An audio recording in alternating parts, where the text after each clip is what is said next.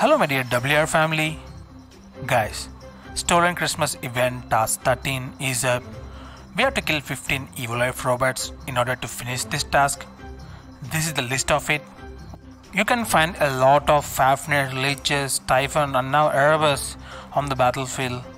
If you are in lower leagues, of course, you can find Fujin, Raijin, Mender, Weyland, etc. And players in lower leagues also won a lot of Fafnir, so it's easy to finish this task. And once again, Merry Christmas and Happy Holidays to all my WR family members. I really thank you all for your love and support. And many of you asked me about live streams. I'll definitely try to do that today. My apologies for making you wait for it. I'm really sorry, guys.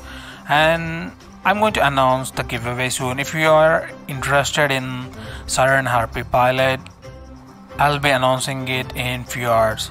Thank you so much for your patience. Take care, guys. Bye bye.